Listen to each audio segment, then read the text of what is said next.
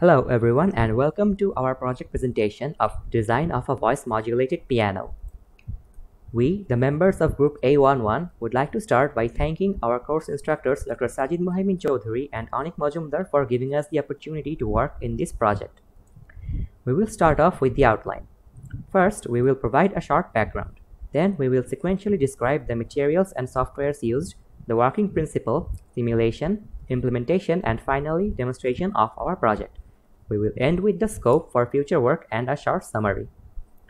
Have you ever wondered how a piano works? In a traditional grand piano, there are 88 different keys, each one for playing a different tone. When a key is pressed, a hammer inside the piano strikes the strings from below and the vibrations cause resonance in the soundboard playing a soothing tone. In a digital keyboard, there's a small onboard computer, pressure sensors, and a set of speakers. When a key press is detected, a synthetic sound is output through the speakers. In this project, our task is to construct such a digital piano. By resampling a given bass note, the rest of the tones has to be generated for playback. The key components used in this project are the STM32F7 Discovery board, an Arduino Duo board, Arduino prototype shield.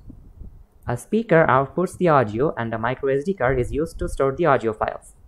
Among the softwares used in the project, the STM32Cube IDE was perhaps the most important one.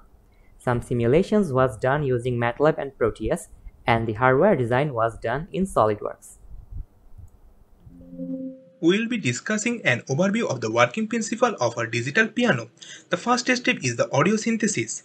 Each octave in the piano has a 12 half step as shown here. The most basic scale is starts from the C note.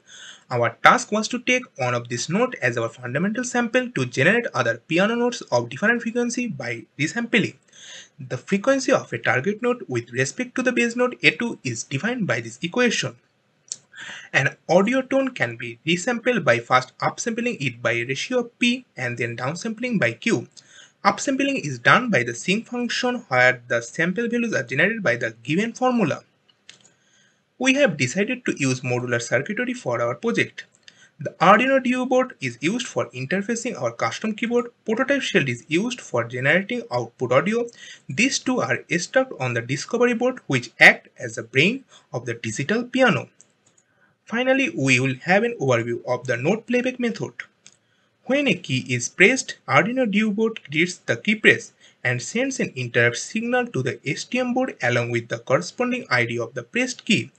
The STM then loads the audio sample of the note and sends it to the digital to analog converter, generating the output audio.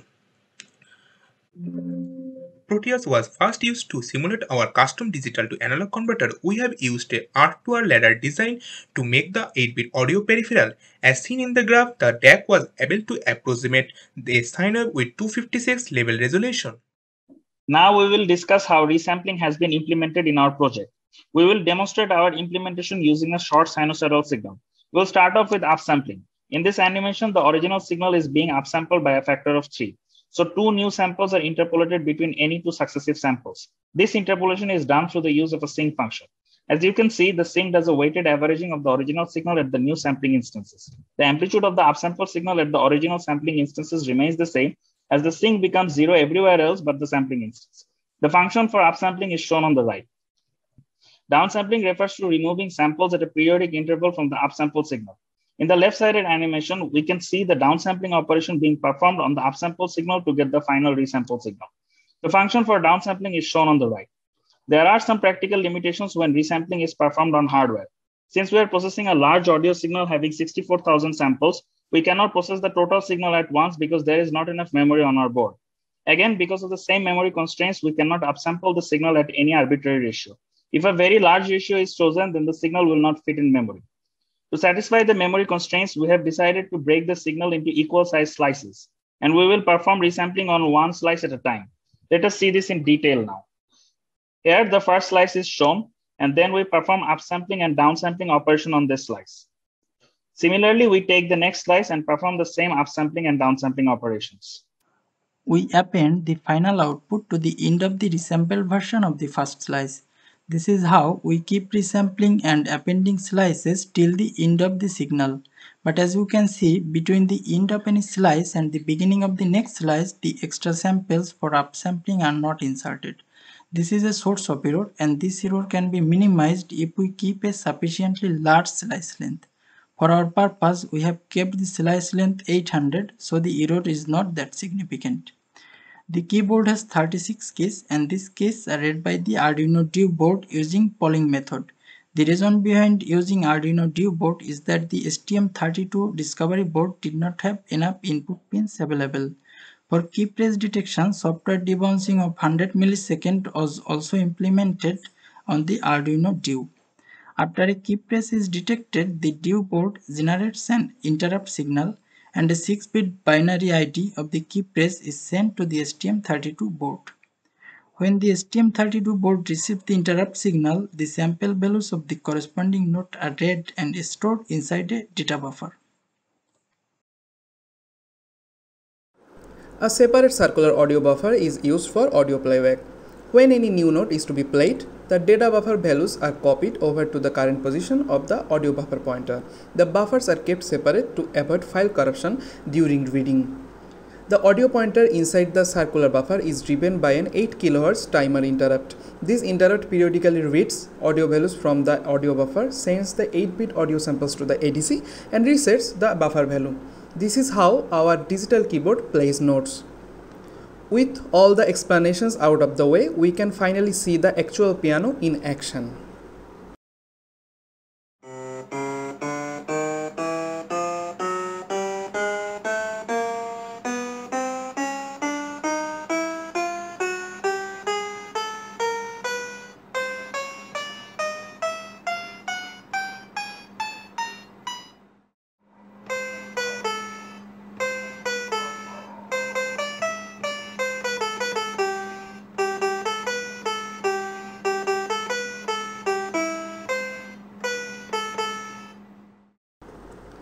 There is an onboard DAC with our microcontroller board that we have not used for our project. In future, if we can use the DAC, then the external circuitry can be minimized. Our current hardware setup allows us to place 36 different tones, ranging from C3 to B5. We can build a complete setup with 88 different keys. Also, when we press multiple keys together, the signals in the buffer add up and create a high amplitude tone. Ideally, we want the signals to add, but the amplitude to stay below a threshold. And finally, a piano key in real life produces different sounds depending on how hard the key is pressed by the finger. We haven't yet figured out how to implement that in our project. But if time provides, we wish to implement this feature in future. In this project, we have done audio resampling in hardware interfaced a custom keyboard to a microcontroller, and implemented audio playback with timer interrupt and digital to analog converter. In a sense, the attempt to make a prototype digital piano was a success. We have reached the end of our presentation. Please feel free to ask any questions related to the project. Thank you very much for your patience.